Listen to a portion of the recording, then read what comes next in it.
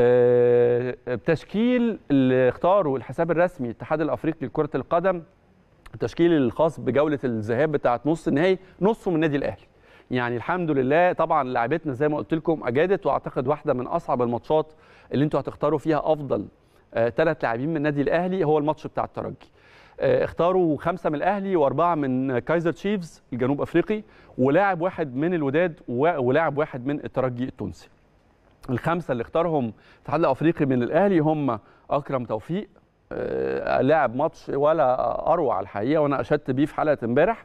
بدر بنون طبعا بيدرو أليو ديانج حمدي فتحي ومحمد شريف دول خماسي النادي الأهلي اللي- تم اختيارهم في تشكيل مثالي آه، لجولة الذهاب. وإن شاء الله بإذن الله يكونوا على نفس المستوى وفي الميعاد في مباراة آه، العودة.